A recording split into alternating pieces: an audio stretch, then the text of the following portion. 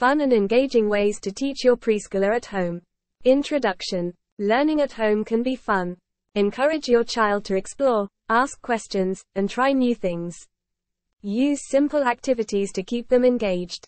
Home learning essentials. Establish a designated learning space for your child.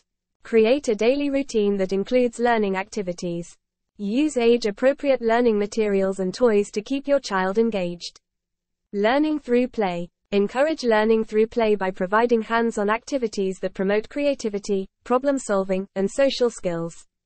Have fun while learning. Reading and story time. Reading to your child helps build their vocabulary, imagination, and critical thinking skills.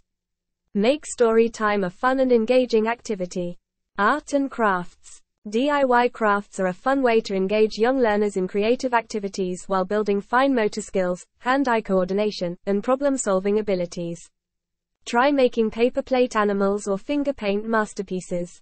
Outdoor activities. Outdoor activities are an excellent way for preschoolers to learn and explore their environment.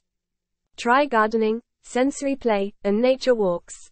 Screen time. Limit screen time for preschoolers to one hour daily and use educational apps and programs. Encourage physical activity and imaginative play. Wrap up. Making handmade crafts is fun and educational to keep young children engaged and learning at home.